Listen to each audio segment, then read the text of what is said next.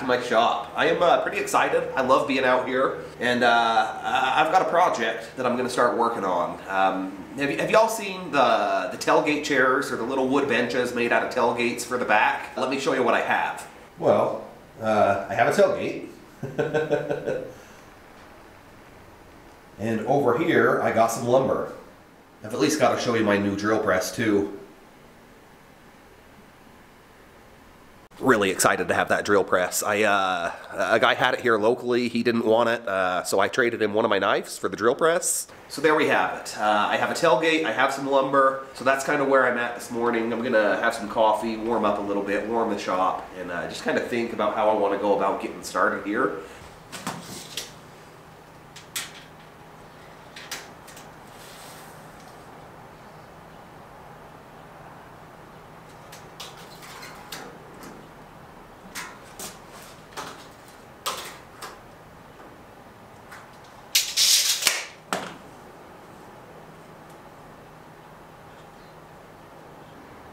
Morning coffee's amazing. This is my last cup. Uh, I might have to go uh, brew up another pot. But I've just taken some measurements and uh, I've put together on this little piece of masonite my plan. Bam! So these are all rough measurements and I'm going to go ahead and start making some sawdust. What I'm going to do is cut uh, the lumber down to a rough size um, and then get it on the jointer and the planer and uh, make sure it looks nice.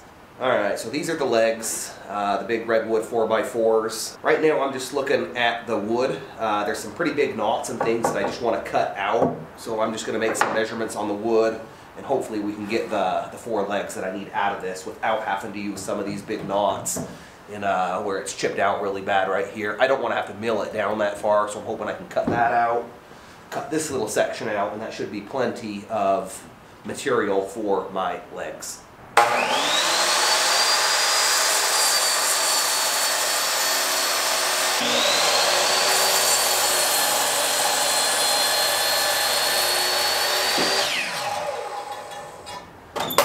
So I got the main seat posts and the structural supports uh, rough cut. These are all about two inches uh, over where they need to be. But at this point, I'm going to start with these and I'm going to uh, joint and plane them, get them all uh, squared up and looking pretty.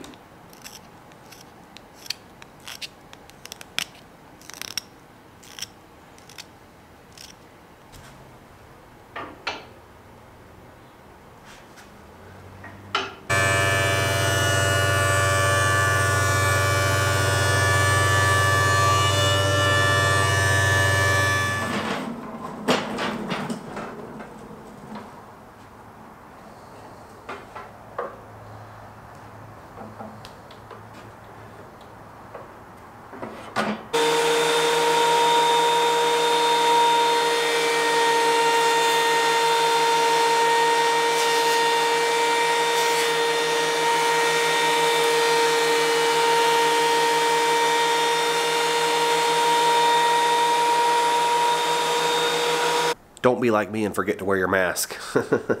I just got through two boards. So I'm to get my mask on and finish the other four. So my wood here is joined and planed, and uh, it's still at a rough length. So now I guess I need to take a minute and figure out precise measurements on where I want this thing to uh, come in at. Hey, look, there's a pencil I lost. Uh, so that's what I'm to do now, and uh, I think I'm to dado these into here for its width or length, however you want to look at it, but the first thing is to figure out what my final dimensions are going to be. They're still rough. So I think I want my front legs at 23 and a half inches, and I'm going to use my crosscut sled on the table saw to do that. The blade doesn't come up high enough, so I'm going to have to do it in two passes. But uh, yeah, we're going to do the front at 23 and a half, and then I'll uh, take some measurements and see what we're going to do the rear at.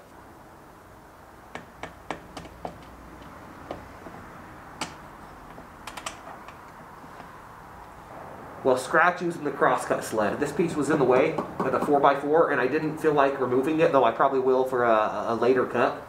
So I've changed uh, the way I'm going to cut these down to length, and I'm going to do it over on the miter saw. Though I have them marked, I uh, use that little stop block right there for repeatability. We're we're gonna go ahead and make these two cuts.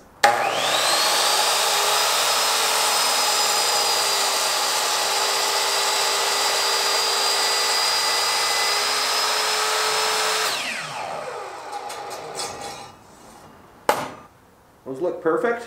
All right, so the two back legs I've decided are going to be about 38 and a half inches. So I've got the two flush sides squared up to each other, and I'm going to mark uh, the other end here and whack them both off so they're the same length.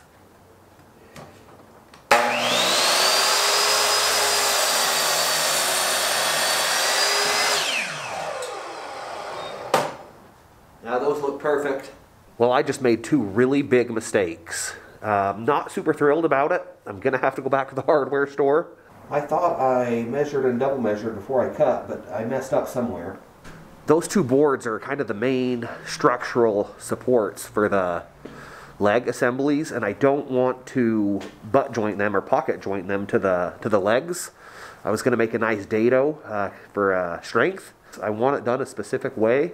I am going back to buy two more pieces of wood. And just like that, we're back in the shop already. So uh, don't be like me. Don't make that mistake. I measured twice, still did it wrong.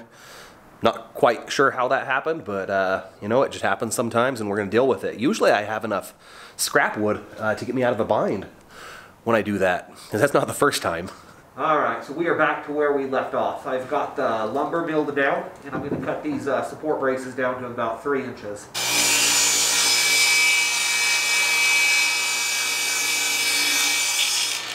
Uh, I just had to remove my little support here so I could do the dado joints for my uh, supports. And I cut a little piece off of the cutoff uh, from one of those supports that I'm going to use to set the blade alignment.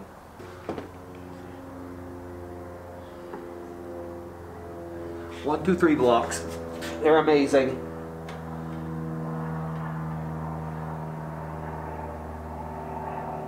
The camera probably didn't capture that, but what I did is I uh, raised the blade until it kicked the block just a hair, and then I backed it off just a little bit. It should be a pretty pretty accurate cut.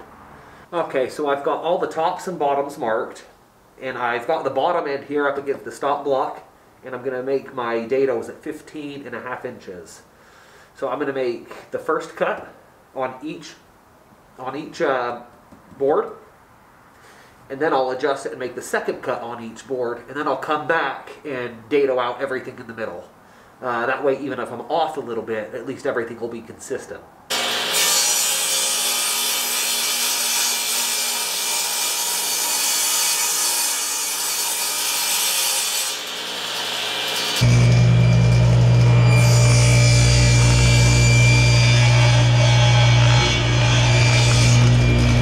Okay, so uh, there I just made the first eight cuts. Now I'm just going to use the same table saw and cut out uh, everything in between, and I should have some pretty good fitting uh, joints.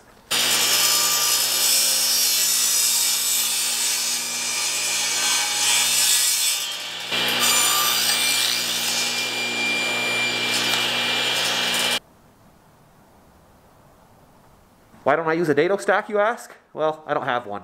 So I think uh, 74 inches is uh, kind of the length I'm going for. That gives me about 3 sixteenths, uh, maybe a quarter of an inch on each side of, uh, you know, in between the tailgate and the, the legs.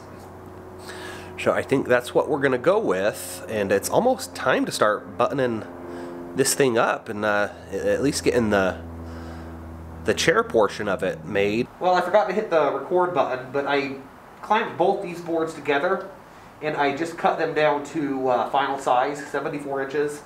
Cut them at the same time so I know they're the exact same size with them clamped together. Let me get some of this sawdust out of the way. So I can use my assembly table. Well, there's a good screw. We'll set that aside.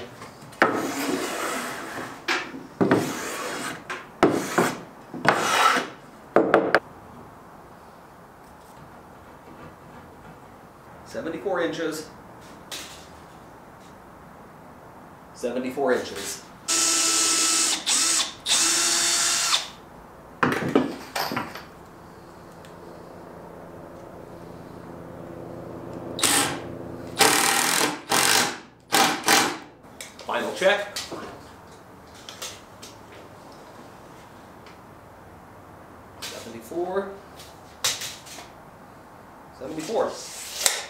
So I just clamped the front and back legs together to make sure everything was uh, flush. And now I'm going to repeat the process.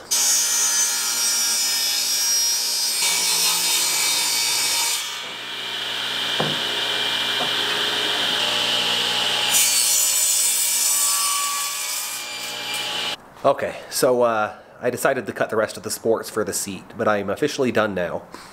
I'll probably uh, maybe heat up a cup of coffee and clean my shop, and um, we'll get back out here uh, hopefully tomorrow, uh, but definitely in the next couple days. But done for the night. Uh, I got off a little bit early tonight. I think it's uh, about five, five thirty.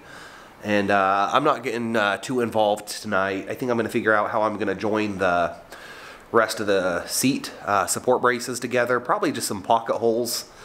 And I think I'm going to cover some of the exposed screws with some sawdust and wood glue to get that dry in. Well, that looks about right.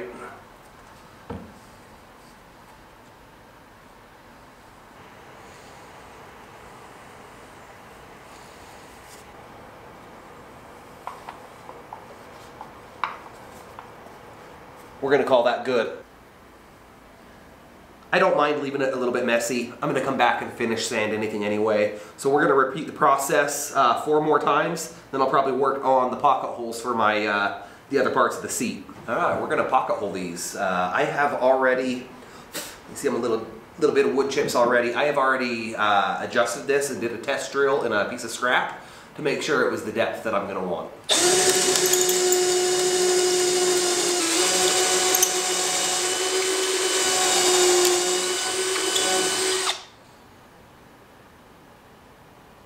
All right, so we're gonna do the two corner pieces first, the ones that don't need pocket screws. I'm gonna do a little glue up, put a little glue on them, uh, lock it down where I want it with the clamps, then I'll get it attached. A lot of glue squeeze out, but that's okay. Um, I'll wipe it all down. It, it's gonna get final sanded anyway, no big deal.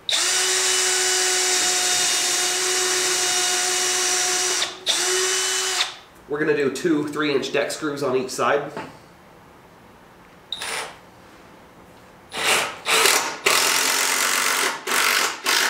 Okay, so I got uh, just the two on, just the two outside ones. I got quite a bit of glue squeezing out, which is good. I, I like a lot of glue in there.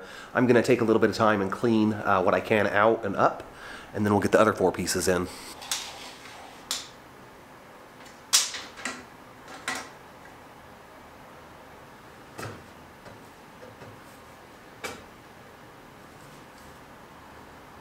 Before I lock this down and screw it, I am going to uh, get my speed square out and make sure it is square. I'm then using this big clamp here uh, to lock the boards down so they don't shift, uh, which sometimes can happen with pocket screws.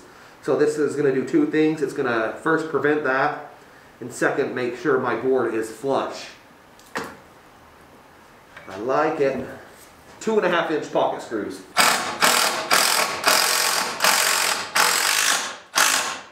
Perfect. Same thing on this side. I do want to make sure that's still square, which it is. Alright guys, I have ran out of time out here. I am done for the night. Uh, I did make some progress, but I've made some mistakes. And I'm going to show them to you um, so you don't make mistakes when you build your chair. It's so important to plan ahead of time, and uh, if you remember, I didn't really do a lot of that. I'm not happy with how much space is in between there. I want this chair to be very durable. I want it to support uh, anybody who sits on it. Uh, it needs more support. I've got two options. Uh, I can get thicker lumber for the actual seat, but that's expensive. You know, I'm a poor guy. I'm on a budget. I probably don't want to do that. So I'm going to add uh, more supports. I'm going to put a support in between each one of those gaps. So I'm going to mill down some of the scraps I have at the same wood, and uh, hopefully that'll be what I do the next time I'm out here. I did get all the holes filled, and uh, so next time I'm out, I'm milling down more wood, then we can move forward. We are back at it again, ladies and gentlemen. I'm out here tonight. I got some wood, uh, rough cut. I'm to work on the I'm to work on some extra pieces I want to add to the bench for support, and I think it's to look pretty cool. Let me show you what I'm working with, what we're to do, and Here we go. I got thinking about this uh, last night when I was out here uh, doing a little bit of work, and I think it's going to obviously help uh, with support and the structure, but I think it's going to look pretty cool too. I'm going to get these milled down, and I'm going to add those in here, uh, something like that. Uh, I think it's going to add to the overall look, and obviously it's going to be a, a very functional, a very functional piece of the, the bench. So I'm going to get these milled down. Probably not going to film too much of that and then we'll uh, bring you back here when I start uh, getting ready to make the cuts, and uh, hopefully we can get everything fitted up tonight. All right, I have got all my uh, boards uh, joined and planed. I'm going to get them on the table saw and get them to the width I want. I'm going to start with the supports going underneath the bench, then I'll uh, work on the armrests. Then, then I'll work on the armrests, excuse me.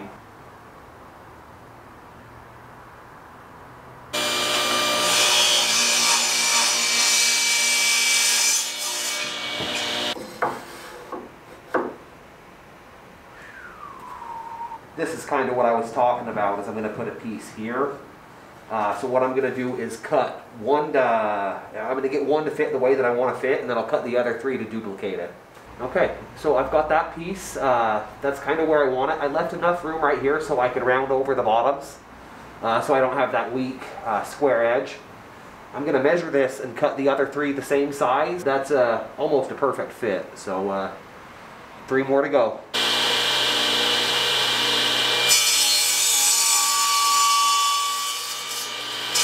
Okay, so I'm actually super happy. Uh, these all fit perfect at uh, 45 degrees. I don't need to make any adjustments. I'll have to be careful while I screw them in. I thought I was going to be able to pocket hole them, but um, you know, I guess I just didn't think I should have done a different angle. Uh, the other support pieces are also pocket hold, and these line up in the same spot. And th these pocket holes would probably hit those pocket screws. So I'll probably just go through here um, with two screws on each side, probably some long, you know, three or four deck screws. Should be more than uh, enough. But before I do that, I'm going to use my router and round over the bottom of the legs.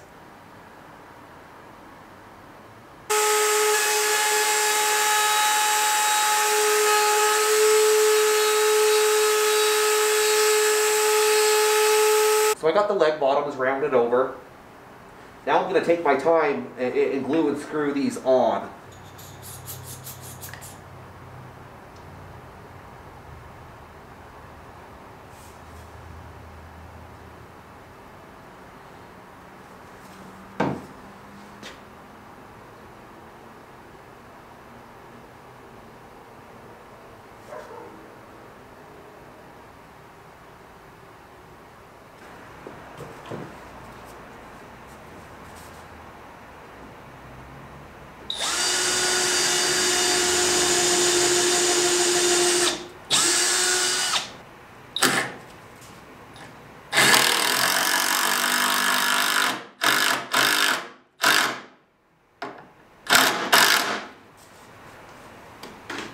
Okay, so I've got all four uh, screwed and glued on. I'm pretty happy with the overall finish.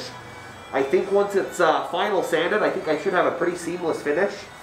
So I just mixed up some more uh, sawdust and wood glue, and I'm going to fill these holes, which I'll sand tomorrow.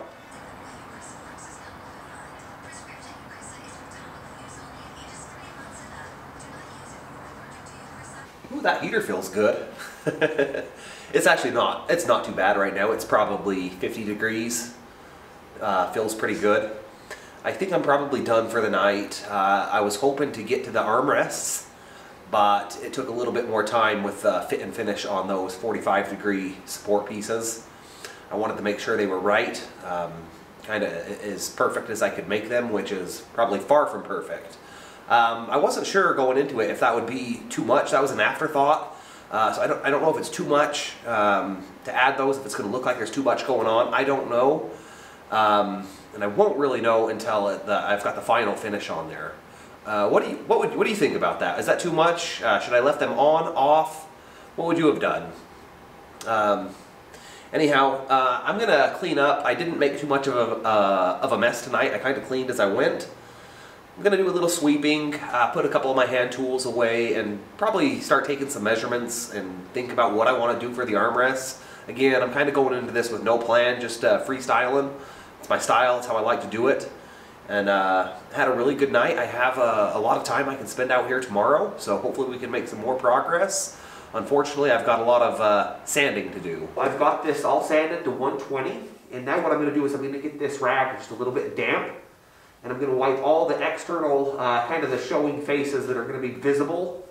I'm going to wipe them with just a little bit of water. I'll let it sit for just a minute or two.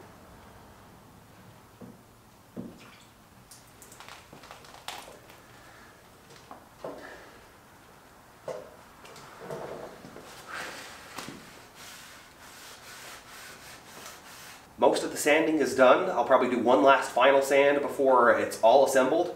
But uh, we're going to take some measurements and work on the seat slats, and then I hope to get to the uh, armrests.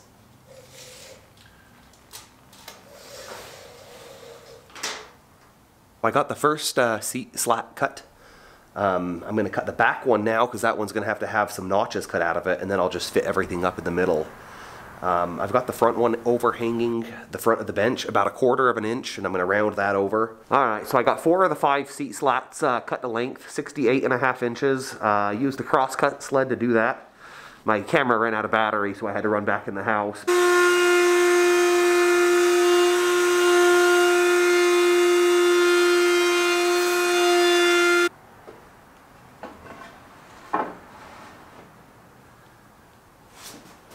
All right, so I've got the, the first four seat slats laid out, uh, spaced evenly and locked down.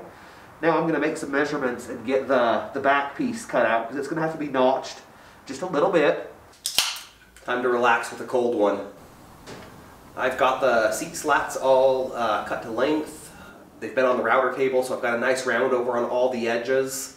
The spacing is pretty consistent, kind of where I wanted it, so that's good. I'm gonna relax with the Dr. Pepper, then I'm gonna distress that pine.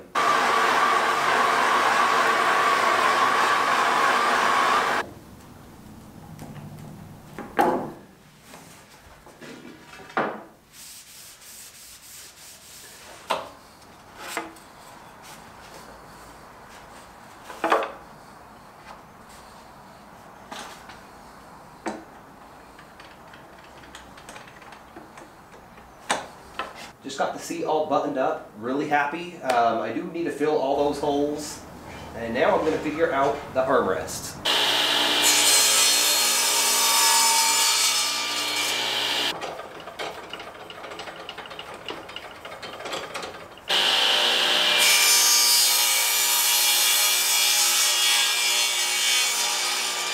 I can't find my impact driver and it's not even that messy. Found it. We're gonna do some three inch deck screws.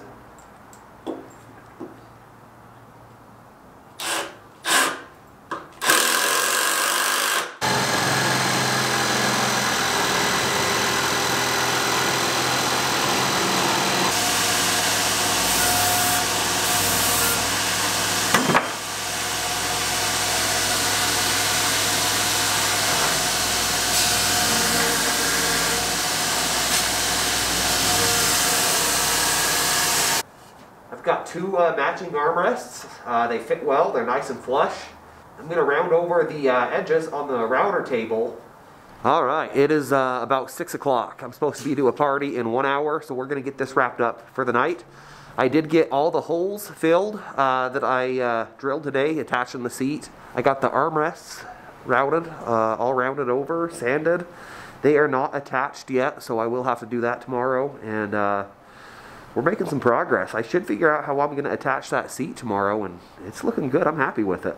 Good morning. It is uh, 11. Just finished up some coffee. Uh, I actually need to go in and get my cup so I can bring it out here. I forgot it. But uh, I'm going to go ahead and get started.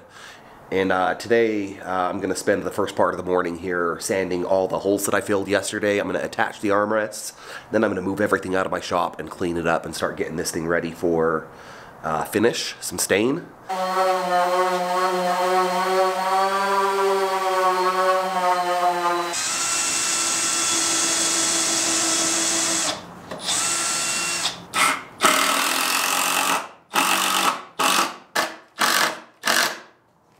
All right, I just spent about an hour and a half, cleaned the shop, put, it, put all the tools away. It feels good in here. I'm going to clean up the bench. I'm probably going to vacuum it, blow it off, and then uh, wipe it all down with mineral spirits and go find some uh, finish. and I am going to uh, finish it before I even start trying to attach the tailgate.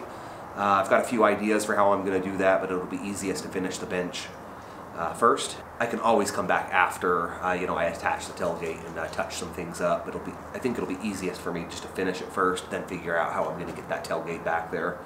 So uh, yeah, gonna get it cleaned up, and we'll go to the store and get some finish.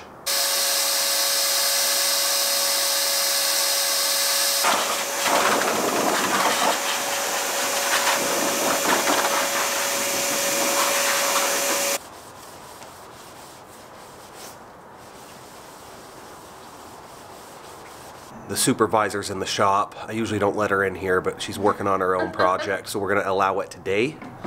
Um, but just because I'm in here with her. If I don't like it, I can't blame you for it. You shouldn't blame me anyway. These armrests look really good. I just got the first uh, coat on. In uh, the instructions on this say to wait six hours before doing another coat, and I'm going to follow them. Uh, there's a possibility I'll come out and uh, put the second coat on tonight, or I might do it first thing in the morning, and then we also got to do the, the polyurethane. So uh, we're definitely closer to being done, just kind of the, the slow stuff now. Good morning. It is a, it is a cold one. Um, not a lot going on today. I'm going to put the second coat of stain on. I'm going to heat the shop before I do anything. Then I'll get the second coat of heat on. I got to do a little sanding in between. And uh, I hope uh, later in the afternoon to get the first coat of poly on. And then I'll do another coat the next time I come out. And then we'll be ready to attach the, the tailgate and uh, wrap this thing up. It's been a really fun build. and So I've got some uh, very fine steel wool. I'm going to go over the, the entire bench. Then I'll get it cleaned up again, do one more coat of stain, then I'm kind of at a still point on this project for, uh, you know, six hours according to the directions.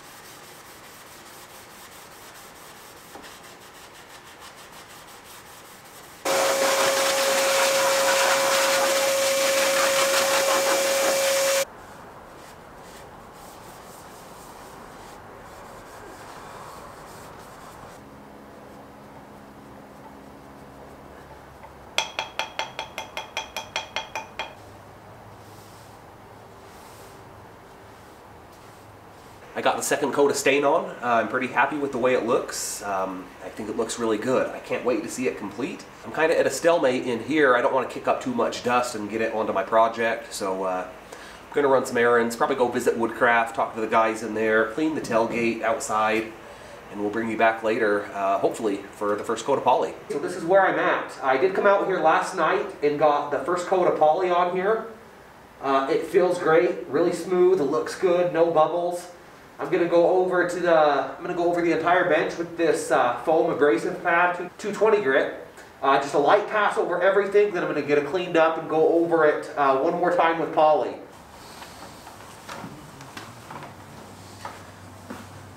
Let me tell you what, that heater, uh, I just picked that up today because it's cold. It's like 42 degrees outside. And it, it, it has heated my shop up to t-shirt weather. I broke a sweat. Um, so that's good. I'm going to take just a quick second and show you kind of what I'm thinking about how I'm going to attach this bench while that, uh, or excuse me, attach the tailgate while the bench dries. So I have three of these. They are heavy duty gate hinges. They're going to go right here. And I've also cut these little blocks to sit flush. I'm going to put one there, one on the other side, and one in the middle. That way the hinge will be uh, screwed into both tailgate, the block, and then the block's going to be screwed underneath the tailgate with uh, heavy duty metal screws. That's how I'm going to attach the bottom of the tailgate to the bench. Uh, and this is all subject to change. I, I think it's going to work just fine. Each of those hinges is rated to, I think, 80 pounds. Um, this tailgate doesn't even weigh 80 pounds. And I wanted to use that in the other way, which I'm going to show you, because I wanted to leave as much as the tailgate exposed as possible. I didn't want any wood supports behind it, um, and that's just a personal uh, opinion.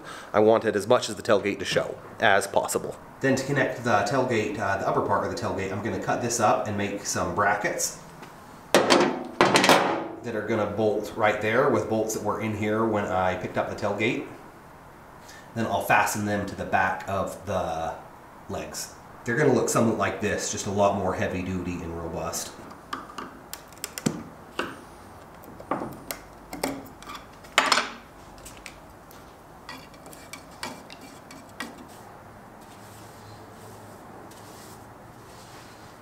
just like that, it's a wrap for the night. These last couple nights have been kind of slow moving, uh, just really the finish work on the bench, and that should be done Going to clean up really nice with a brown paper bag. And I'm hoping tomorrow to start making these brackets and getting this tailgate mounted up. I hope. I'm probably going to need two people to do that, uh, at least myself and another person. So uh, again, that's what I hope to start on tomorrow and hopefully have it attached. But uh, it's coming soon. Final product. I can't wait.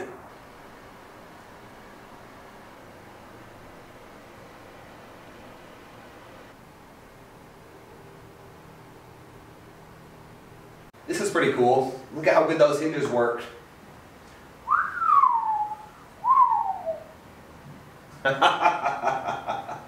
yep, I have got to clean this shop. But uh, I appreciate uh, all of you who watched the show. I hope you found some value, learned something, either from something I done or the mistakes I made. For uh, so when you build your chair, you make it better and you don't make any mistakes. I know you can do it. Uh, you know, if I can get out here and do these kind of things, uh, anybody can. If you've uh, made it this far and you like seeing this kind of stuff, consider subscribing to my channel. Uh, it means a lot to me, and it's a really easy way to support uh, you know a small channel like this. So, um, build on. We'll see you soon.